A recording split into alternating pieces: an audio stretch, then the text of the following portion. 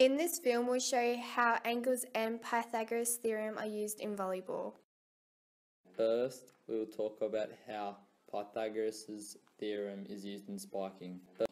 If you want to hit the ball cross court to the opposite corner, how far will the ball travel before it hits the ground? The court is 9 metres long and 9 metres wide. We can work out how far the ball will travel by using the Pythagorean theorem c squared equals a squared plus b squared.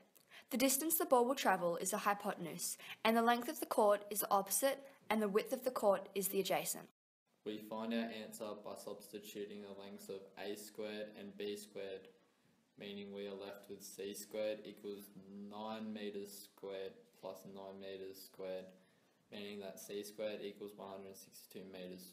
To find out how far the ball travelled, we must find the square root of 162 metres.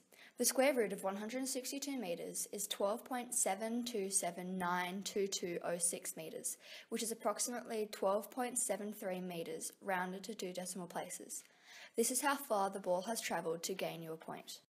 But if you're on the opposite team, you must receive the ball. When receiving the ball, if the angle of your arm is even a few degrees off, the ball will fly off in the wrong direction. In Holly's case, the angle between her arms and knees is too high. The angle is approximately 100 degrees, meaning the ball flew backwards. For the ball to go straight up in the air, her arms must be 90 degrees in line with her knees. But in volleyball, we not only want the ball to go up, but also go forward. To do this, we change the angle of her arm. If Holly's arms are adjusted to between 75 degrees and 80 degrees in line with her knees, the ball will bounce off her arms and rebound forwards. But now there's a blocker attempting to stop the ball coming over the net. If the blocker's arms are between 170 degrees and 180 degrees in line with their body, the ball was slipped out in front of them, meaning the block was unsuccessful.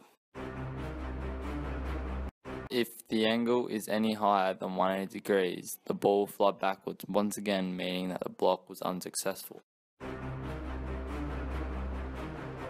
When blocking, your arms must be at 120 degrees, meaning that your hands will be reaching over the net and will shut down the ball. This angle will ensure a successful block.